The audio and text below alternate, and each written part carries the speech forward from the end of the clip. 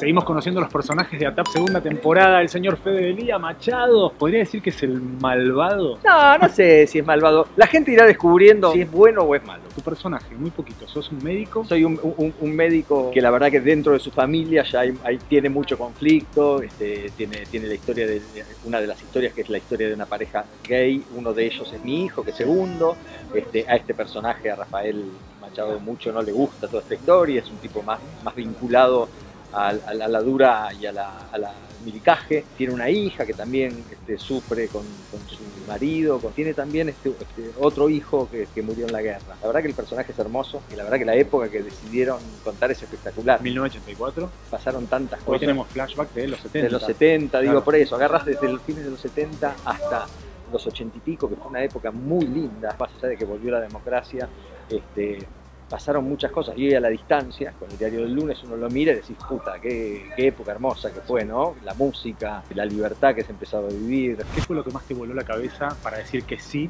a ATAP segunda temporada? Fundamentalmente el personaje, Sí. Ah, que me va a permitir jugar de verdad muchísimas cosas. Un Gracias, placer. Fede, un placer. Gracias, muchas gracias.